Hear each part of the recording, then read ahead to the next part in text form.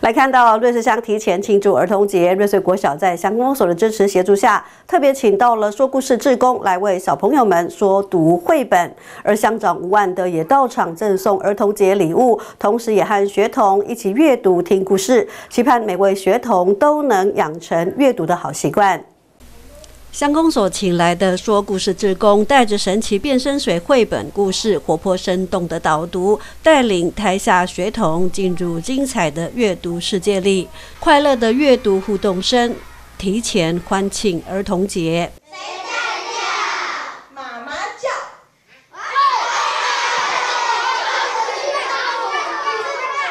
提前庆祝儿童节，瑞穗国小在乡公所的支持协助下，特别请到了说故事志工来为学童们说读绘本。乡长吴万德也特别到场赠送儿童节礼物，同时也和学童一起阅读听故事。乡公所重视孩童们的阅读教育，借着儿童节庆提供资源，也令校方师长们感谢肯定。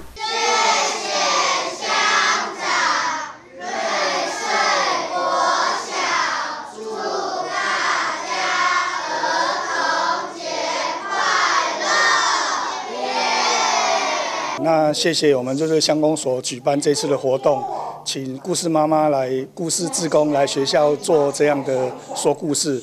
那相信小朋友能够透过这样的活动，不管在学业方面，或是做人做事方面，以及一些做人的一些涵养，我想都可以透过这个说故事来得到更大的启发。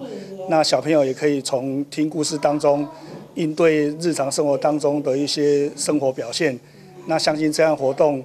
多多举办的话，会对我们小朋友有很大的用处、益处。不善言辞、闭口长舌的乡长吴万德，却相当重视孩童的学习教育。借着儿童节庆的到来，除了逐一到乡内各国小发送儿童节礼物，也结合了乡立图书馆来推广阅读，希望培养孩童们的阅读习惯。